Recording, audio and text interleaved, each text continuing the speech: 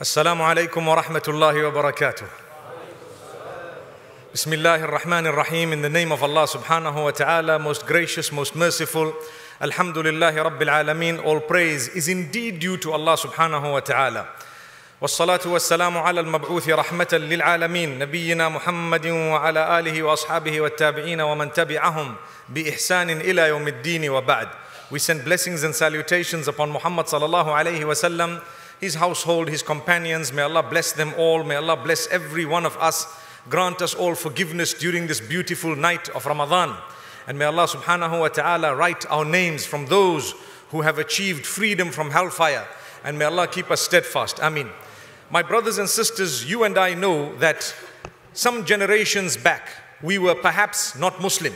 Someone happened to work on us or care for our forefathers or someone up the ladder in such a way that they accepted Islam. Or in the case of those who have reverted, you have accepted Islam because of the mercy of Allah subhanahu wa ta'ala. Had it not been for the interaction of the Muslims, perhaps a lot of people would not have accepted Islam. So there is a misunderstanding that people are trying to peddle today that we are not allowed to interact with the non-Muslims and we are not allowed to befriend them in any way.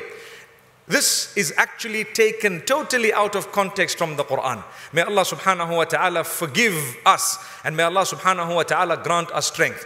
In Surah Al-Mumtahina, verse number 8 and 9, Allah makes clear, and it's very logical, it has to be logical, whom you are not allowed to get very close with. Those are the enemies who have driven you out of your homes and who have fought you those are the ones whom you keep your distance from. And I'm sure any parent would give exactly the same advice to his or her children, whether they were Muslim or not. If someone has harmed you, they were attacking you, you know that they do not have good intentions towards you, you would tell your children, please don't associate with these because they are your enemies. As for those who may not be Muslim, but they have never harmed you, they have never attacked you, they have never caused any damage to you, there is no harm, obviously, in being good to them. In fact, you have to be good to them, kind and just, and you may be close to them as well. In fact, to the degree that the Quran has verses in it that permits under conditions the marriage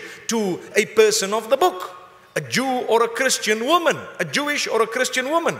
If the enmity was so severe, do you really think that Allah would have allowed marriage in a way that you are intimate with the person and you have children with them and they grow up to subhanallah. So we need to put these verses into context by going back to the verses of Surah Al-Ma'idah 51 and 56 and taking a look at Surah Al-Mumtahina where Allah subhanahu wa ta'ala says لا ينهاكم الله عن الذين لم يقاتلوكم في الدين ولم يخرجوكم من دياركم أن تبروهم وتقسطوا إليهم Allah does not prohibit you from befriending those from among the non-Muslims who have never fought you they have never driven you out of your homes etc Allah says he does not stop you you have to be good to them kind to them you have to fulfill their rights etc but the very next verse Allah says إنما ينهاكم الله عن الذين قاتلوكم في الدين وأخرجوكم من دياركم وظاهروا على إخراجكم أن تولوهم The term wilaya is used. Wilaya does not just translate as friendship. It is a very high level of protection where you seek the protection of someone subhanallah and perhaps it is beyond the level of mere friendship so allah says indeed allah has prohibited you from taking as protectors those who have fought you. They have driven you out of your homes and they have assisted others to drive you out of your homes. You cannot afford to become so close to them because you will not be able to save yourself from harm. Subhanallah. So, to save ourselves from harm, and that's the series that we're speaking about, we need to save ourselves from befriending those who are not sincere towards us, those who have fought us, those whom we have had a major issue with that is not resolved. Be careful, because if you're not careful, you're going to have a problem. But we should never ever interpret the verse to say that we are not allowed to associate or befriend those who are good from amongst the non Muslims. Subhanallah. May Allah subhanahu wa ta'ala grant us an understanding of who we were a few generations back, and sometimes even us who have accepted Islam, reverted, where were we some time back? A lot of the times it has to do with the interaction with the Muslims. Take a look at Far East Asia and how Islam spread there in a beautiful way. May Allah grant us an understanding. The next surah, surah number 61 is Surah As-Saf. And I've chosen one verse from that surah where Allah speaks to us. And Allah says, Ya ayyuhalladhina amanu lima taquluna ma la taf'alun. كبر مقتا عند الله أن تقولوا ما لا تفعلون. O you who believe, why do you say that which you do not do? This is verse number two of the surah. Why do you say one thing and do another thing? That is a very big sin in the eyes of Allah subhanahu wa ta'ala. To say something and to be something else. Hypocrisy. My brothers and sisters, we need to save ourselves from being hypocrites. What you see is what you get. That's how it should be. Not that we are a front and inside we are something else. May Allah subhanahu wa ta'ala protect us from hypocrisy. The signs of a hypocrite, those whom when they speak, they lie. When they promise, they break their promise. And when they are in a dispute, they get so angry that they explode. Allah says those are signs of a, of a hypocrite. May Allah subhanahu wa ta'ala make us truthful people. Those whom when we promise, we fulfill the promise. May Allah subhanahu wa ta'ala grant us ease. Then we move on to the next beautiful surah. It is named after the Jumu'ah. Jumu'ah is the most blessed day of the week. It is the Eid of the Muslims. Jumu'ah is actually a day of celebration, subhanallah. In it, there is a moment that Allah says through Muhammad sallallahu alayhi wasallam to us, if you were to make a dua at that particular hour, and we don't know the precise hour, there is a lot that has been made mention of. Some say it is when the Imam is up between the two khutbahs, some say it is after Salatul Asr, etc.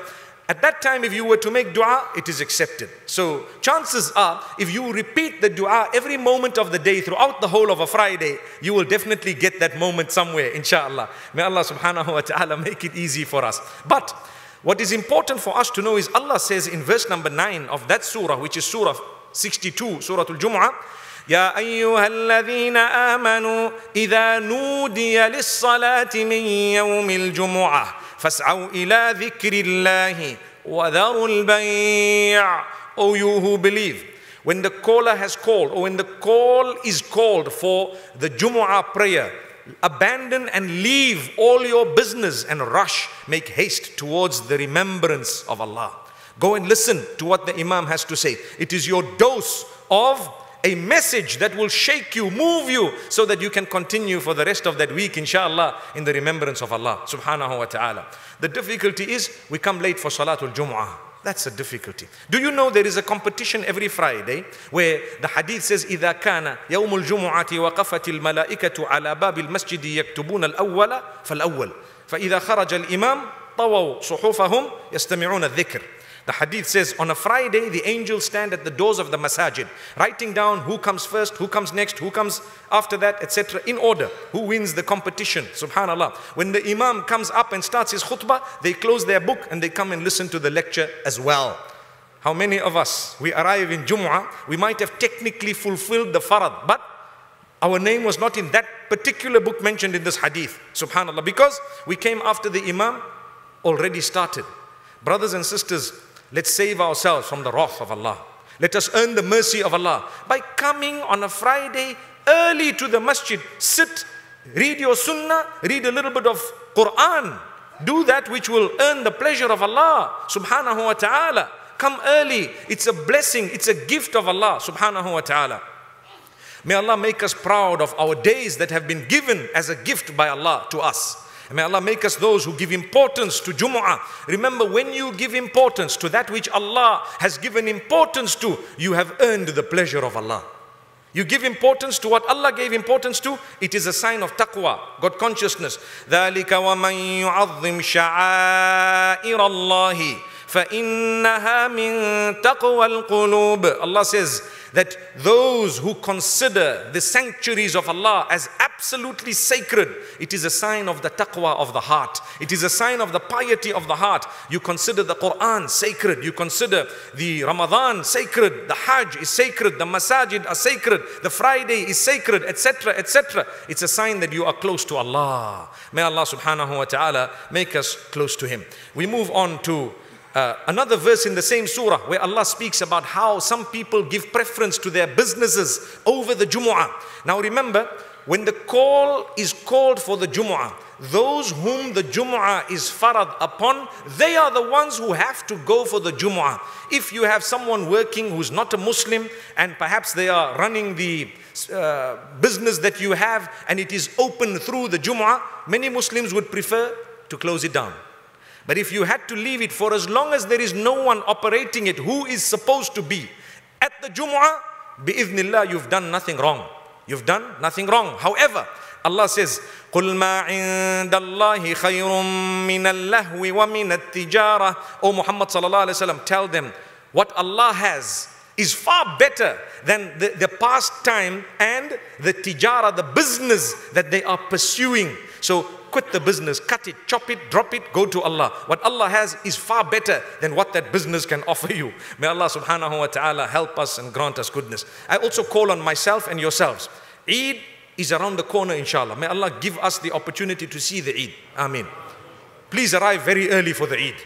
It happens only twice a year. And we come late. We don't even listen to what's going on. Please arrive very early, dress properly, and Come with lots of happiness. It's a day of happiness. Come and read some Quran prior to the Eid. Sit in your safs. Inshallah, that's just a word of encouragement because I notice everyone sometimes on the day of Eid rushing last minute. Why is that the case? May Allah subhanahu wa ta'ala make it easy for us. Then we have the next surah, Surah Al Munafiqun, which is surah number 63.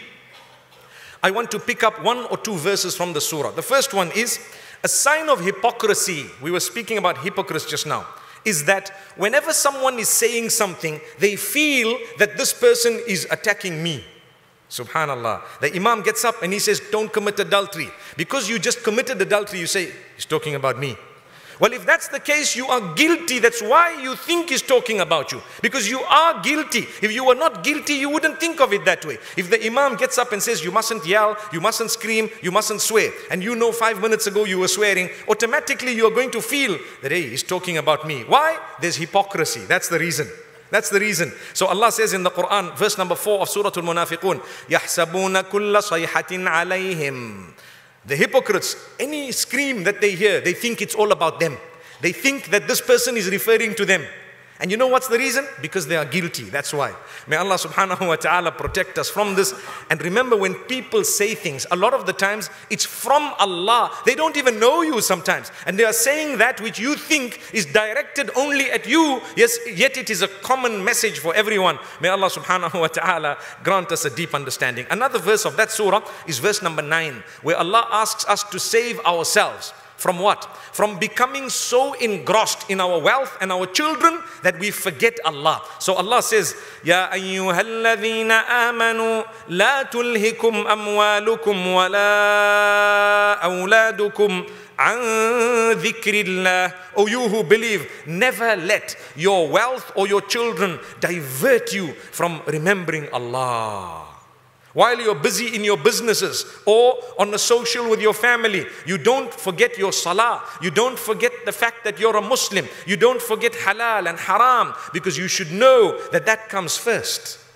So you can enjoy, you can do your business, you can spend time with your family. But the condition being made mention of here is don't forget Allah. Don't compromise Allah just because you're on a holiday. Ah, it's fine. I can do it. It's okay. We're on holiday. You are not on holiday for being a worshipper of Allah. There's no holiday in that regard. what if you were to die in that condition? May Allah subhanahu wa ta'ala grant us ease. Then we move on to another surah, Surah At-Talaq, Surah 65 of the Quran. I want to draw your attention to the reward of the consciousness of Allah. In this surah, Allah talks about divorce. Brothers and sisters, save yourselves from divorcing wrongly by learning the rules and regulations governing divorce. Many times when there is a nikah, we are invited, mashallah, to officiate or to attend, people ask us to talk. I always feel in my heart, let me talk about divorce because the people don't know much about the rules and regulations about divorce. And then I think to myself, imagine getting up at someone's wedding and talking about divorce. They're going to think this guy is crazy, man. Subhanallah. So therefore, we don't talk about it. I think it's important that we actually address this issue and we deal with it. Before you marry, please learn about what divorce is. Because people divorce without realizing what they've done. Anyway, getting to the point, verse number two, Allah subhanahu wa ta'ala says, ومن يتق الله يجعل له مخرجا ويرزقه من حيث لا يحتسب Whoever is conscious of Allah. Taqwa means to bear Allah in mind, to be conscious of Allah, to be having the piety that is needed of a mu'min. If you have that, Allah says, we will grant you a way out when you think that there was no way out, Allah will give you a way out. Subhanallah. Allah says, We will crack open that closed place in a way that you will have a makhraj. A makhraj means a place to come out. Subhanallah. And Allah says, We will sustain you from a place that you didn't imagine we would have sustained you from. يَرْزُقُهُ مِنْ حَيْثُ لَا يَحْتَسِبْ Allah will grant him sustenance in a way that he didn't dream of it. He didn't imagine it. So be steadfast. When you are steadfast, you worship Allah, it's only a matter of time before your problems are solved. We become impatient. Take a look at the prophets of Allah, all of them. Yusuf alayhi salam, he was very patient. At the end he was victorious. Musa alayhi salam, very patient. At the end he was victorious. Ayyub alayhi salam, very patient. At the end he was victorious. Yunus alayhi salam, very patient. At the end he was victorious. With us, we want victory without the patience. That's the problem. Ask yourself, who did Allah love more, myself or the Prophet Yusuf alayhi salam? The answer is Yusuf alayhi salam. How many years did he have to wait? Approximately 40 years according to some narrations. Well, I haven't even waited four months and I'm giving up on Allah, astaghfirullah. Look at how weak we've become. Let's save ourselves by being patient, my brothers and sisters. Alhamdulillah. And the verses continue. Allah says, whoever is conscious of Allah, He will make matters easy for him over a matter of time. يَجْعَلْ لَهُ مِنْ أَمْرِهِ يُسْرًا Verse number four. Whoever is conscious of Allah, Allah will make his affairs easy. And in, in the next verse, Allah says, وَمَن يَتَّقِ اللَّهَ يكفر عنه سيئاته ويعظم له أجرا Whoever is conscious of Allah, Allah will grant him increase in reward. Allah will recompense or expiate his sins. So Allah will delete your sins as a result of your sabr. When you are patient, what happens? Allah wipes out other sins that have happened in your life because you are patient for the sake of Allah. So be patient, your status is being elevated. We hear this, but in fact, it is in the Quran, substantiated by verses of Surah Al-Talaq. So therefore, be patient. Allah knows your struggle. Allah knows your difficulty. Allah knows what you are in. And Allah has the solution. But His delay in giving you that is for your benefit so that you can earn greater reward. If he were to just give it to you as soon as you raised your hands, perhaps you may not get closer to him. May Allah subhanahu wa ta'ala grant us closeness to him. Ameen. Move on to the next surah, Surah Al-Tahrim, where Allah subhanahu wa ta'ala addresses us, and these verses are very important regarding saving ourselves. Listen to verse number six, straight into our theme. يا أيها الذين آمنوا قوا أنفسكم وأهليكم نارا O you who believe, save yourselves and your family members from the fire. Then Allah describes the fire, how burning it is, how hot it is, how its fuel is made up of man and rock. Subhanallah. May Allah subhanahu wa ta'ala forgive us. So Allah says it straight to us, save yourselves from the fire. How? By doing what? By obeying His instruction, abstaining from His prohibition, and seeking His forgiveness. So therefore, verse number 8, after that Allah says, يا أيها الذين آمنوا توبوا إلى الله توبة نصوحا O you who believe, turn to Allah. Return to Allah in repentance in a sincere and genuine way. In that way, Allah will forgive your sins and He will grant you paradise. Because when Allah says, Oh, you who believe, save yourselves from the fire, many people might think, I've already done things that are so bad, they are deserving of the fire. So immediately Allah says, No, if you seek forgiveness, you will save yourself. So therefore, my brothers and sisters, no matter what you've done, where you've been, how much you've done, Remember, Allah's mercy is far broader than your sin or whatever you have done in the past. Subhanallah. Allah's mercy encompasses whatever you've done. It needs you to realize that the date of change is today, not tomorrow. It needs you to realize that I need to turn to Allah. You need to cut your bad ways and habits and say, Oh Allah, here I come, subhanallah. Here I come. I'm going to try my best, Ya Allah. I've quit my bad ways and habits. I regret them. Forgive me. Grant me a new beginning, Ya Allah. And Allah will grant you that beginning. It's the mercy of Allah. My brothers and sisters, don't ever lose hope in this beautiful mercy of Allah subhanahu wa ta'ala. Thereafter, Allah subhanahu wa ta'ala in verse number 11 makes mention of something very, very interesting, and that is sometimes you have a person who is religious, and their children sometimes you find one or two or more or less may not be so religious. So people say, Look at that guy. Isn't he so and so's son? Subhanallah. I tell you, it has happened even to the messengers of Allah subhanahu wa ta'ala. Allah subhanahu wa ta'ala speaks about it in this surah, Surah Al-Tahrim, surah number 66 of the Quran, verse number 10 and 11.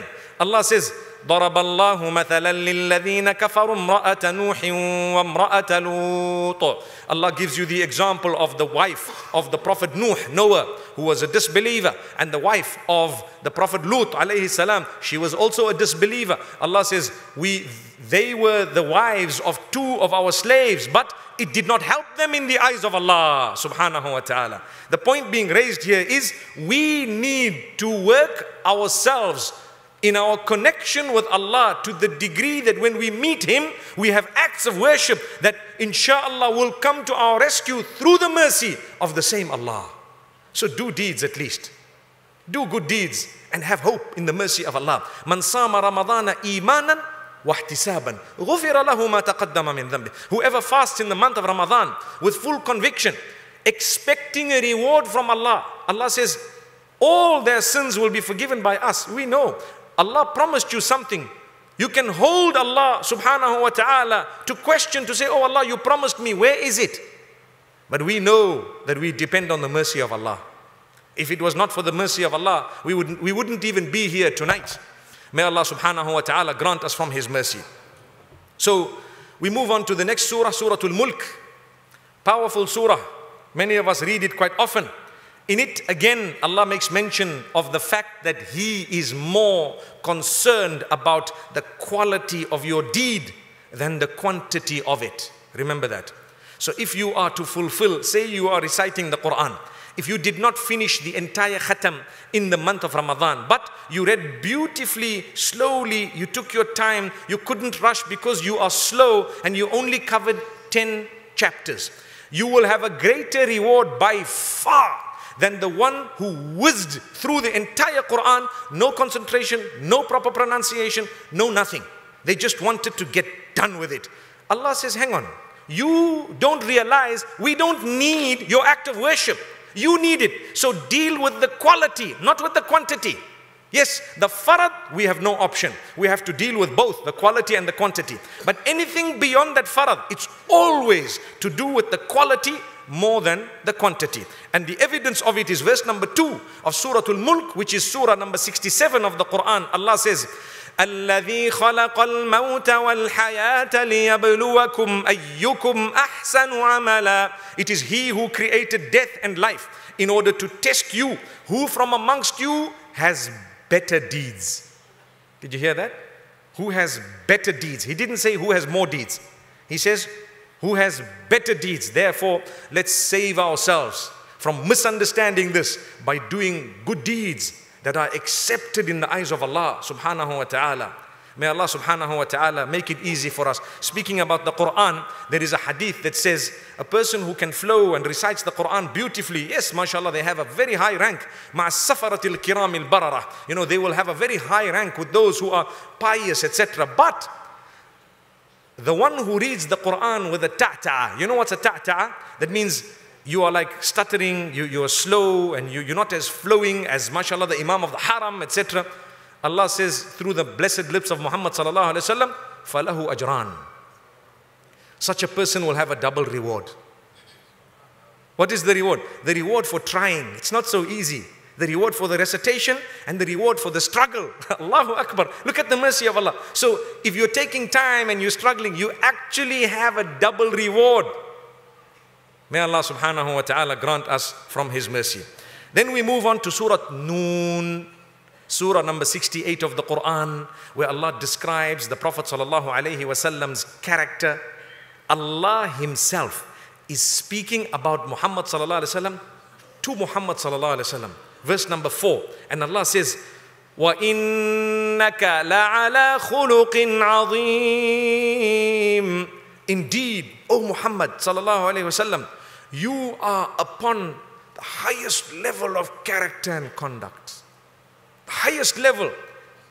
From that verse, we learn that we have to go back, study this character and conduct of the greatest of prophets, the most noble of all, and the greatest of creation, sallallahu alayhi wasallam.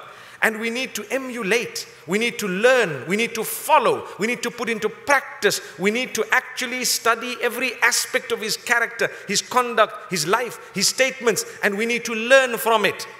Because Allah Himself declares that this Subhanallah, messenger, his character is on a very, very high level. May Allah make us from those who can take from the character of Rasulullah sallallahu alaihi wasallam. Indeed, we have been blessed, my beloved brothers and sisters. I move on to Surah Al-Haqqah, which is Surah number 69 of the Quran. In this surah, Allah makes mention of a day that every one of us will have to witness.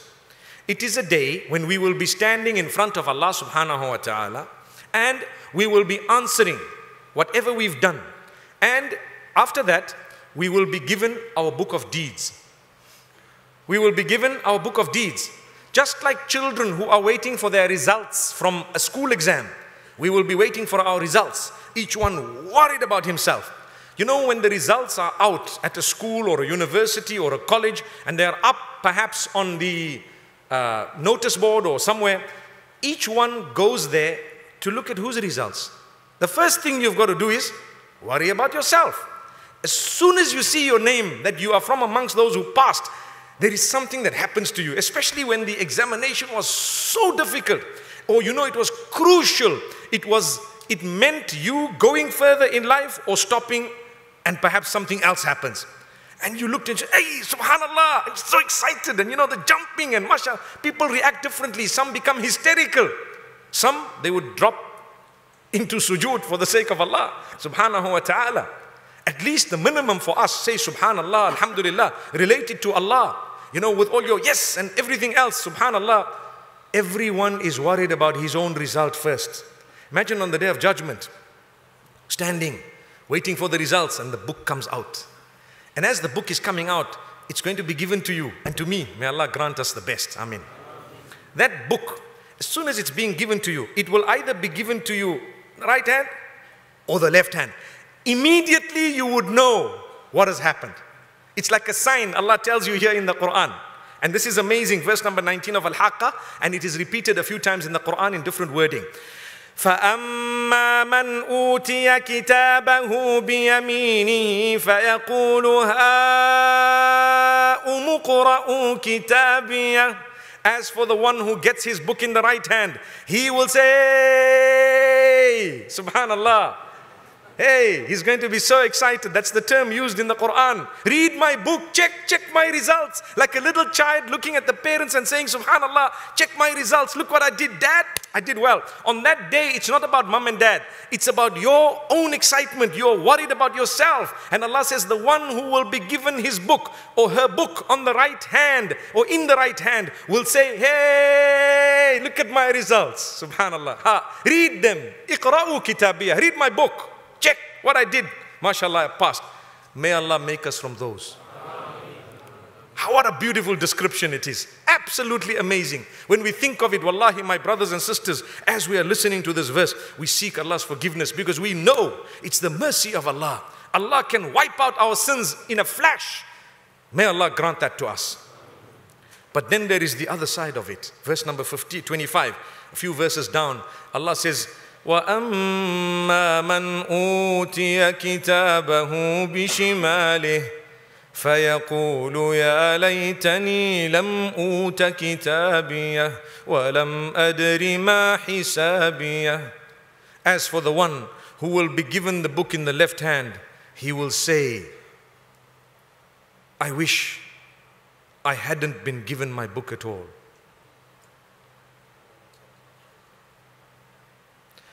فأما من أوتي كتابه بشماله فيقول يا ليتني لم أوت كتابيه I wish I didn't have this book here today. I wish I didn't know what my results were. ولم أدري ما حسابيه I wish I was dead today. May Allah not make us from those. This is a very, very vivid description of what's going to happen on that day of judgment. And my brothers and sisters, to help yourselves and to save ourselves from the torment or from getting the book on the wrong hand or in the wrong hand, we need to make sure we've sought the forgiveness of Allah. Ask Allah's forgiveness. Keep on asking Allah's forgiveness. I promise you it will help you. Don't think, hey, but I can't remember having sinned. No, go and ask Allah's forgiveness every day Whenever you remember, oh Allah, forgive me. Oh Allah, forgive me. And you will notice, inshallah, the mercy of Allah subhanahu wa ta'ala. May Allah subhanahu wa ta'ala bless us all. أقول قولي هذا وصلى الله وسلم وبارك على نبينا محمد سبحان الله بحمده سبحانك اللهم وبحمدك نشهد أن لا إله إلا أنت نستغفرك ونتوب إليك